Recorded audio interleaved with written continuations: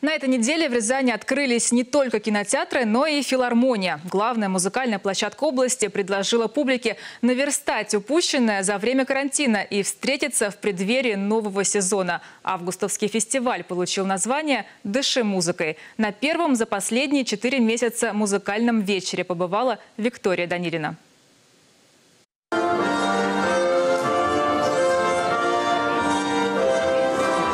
В здании Рязанской филармонии впервые за последние пять месяцев звучит долгожданный звонок. Рязанцы и гости города с волнением занимают свои места, чтобы наконец-то окунуться в волшебный мир живой музыки и воочию увидеть артистов. Среди зрителей жители Архангельска и Санкт-Петербурга, где по-прежнему действуют ограничения по коронавирусу. Соскучились просто люди и все. Поэтому по всему. Я первый раз на таком концерте, если честно. Ни разу не была. У нас филармония пока закрыта. А а в Рязани случайно увидел афишу, что можно сходить на концерт классической музыки. Здорово. Не был, наверное, с марта. Очень рад, что оказался в это время в Рязани. В большом зале филармонии всего несколько десятков зрителей из 900 возможных. По требованию Роспотребнадзора он должен заполняться не более чем наполовину. Людей рассаживают в шахматном порядке. Масочный режим и дезинфекция рук перед входом в учреждение – обязательные требования. Нас попросили измерить температуру, проверили наличие маски. У нас все было, все было с собой, все было в порядке. Поэтому мы всегда готовы к такой неожиданной, приятной возможности что-то новое для себя увидеть и посмотреть. Мы выполняем все требования Роспотребнадзора. Это в первую очередь хочу всем сказать, что э, ваша безопасность здесь будет обеспечена. Но, с другой стороны, вас, дорогие зрители, просим э, тоже выполнять требования. Ну, в первую очередь, это, конечно, в масках. И второе, мы меряем температуру. Поэтому, дорогие друзья, если у кого-то будет повышенная, мы обязательно вернем, возвратим а, деньги за билеты. И когда все эпитребования соблюдены, в большом зале филармонии гаснет свет. Под громкие аплодисменты зрителей на сцену выходят артисты Рязанского симфонического оркестра со скрипками, альтами, виолончелями, фаготами, кларнетами и флейтами.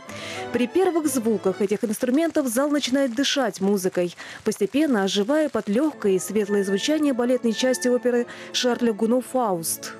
В первую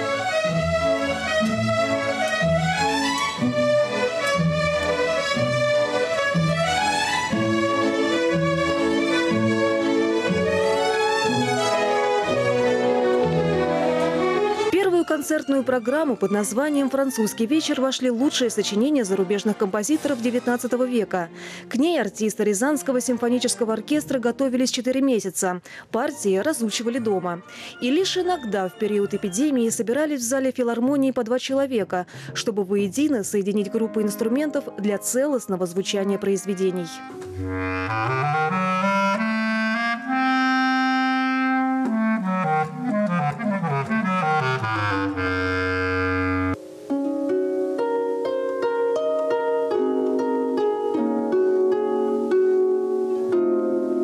Дирижер давал задание посмотреть, выучить определенные, разобрать места и, и партии. И мы это все ну, в определенный срок сдавали. То есть видео снимали там и просто играешь соло под фонограмму оркестра другого, которого тоже наш маэстро высылал. И вот так вот интересно проходили, собственно, эти все дни. Артисты говорят, самое сложное в период пандемии – отсутствие зрителей. Ведь они играют не для себя, а разговаривают с окружающими на особом языке эмоций. Поэтому музыкант и его слушатель – это особый тандем, полный творчества и понимания. Очень важный контакт со зрителем, вот это ощущение настоящей концертности.